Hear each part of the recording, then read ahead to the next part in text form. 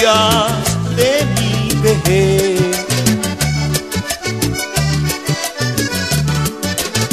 Yo sé que Rafael Santo cuando me vea, lleno de juventud, le dice a la mamá, ay ve, papá tiene cana, no sé si ella se lo crea.